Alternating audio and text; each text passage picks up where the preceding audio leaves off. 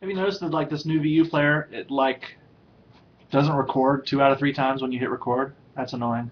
It also lops off the last three to five seconds of your answer, so you end up with everything kind of cut off, unless you like put like three to five seconds of dead air at the end of it. That's also annoying.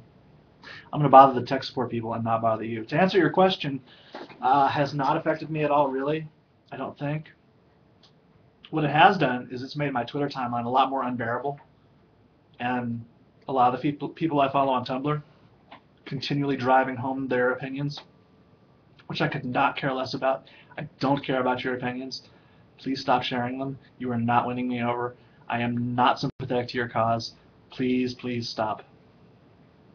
But uh, yes, this is the part that will get cut off, probably.